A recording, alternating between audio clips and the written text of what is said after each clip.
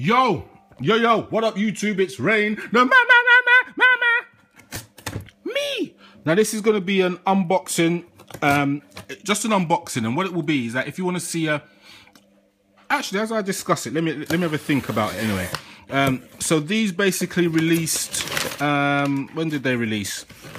Last week, I believe.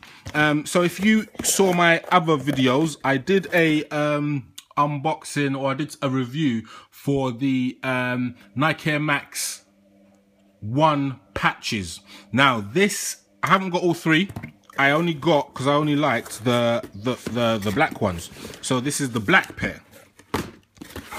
Um, and this is the Nike Air Max Sneaker Boot SP.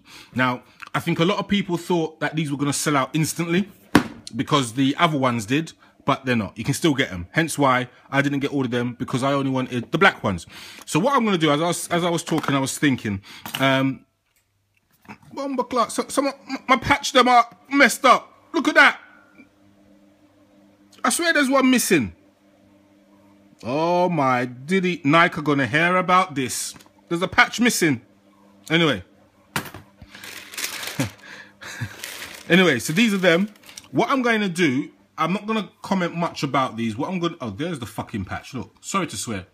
Um, what I'm going to do, I'm going to do a, a review and then compare them materials wise to the Nike Air Max 1. Yeah? So 90 versus the Nike Air Max 1. So that's what I'm going to do. If you think that's a good idea, and if you want to see that, just give me 10 likes, and I'll have that done by the end of the week. But anyway, Rain the Mask, signing out. It was an unboxing. Hmm, not too sure about these. Gone again.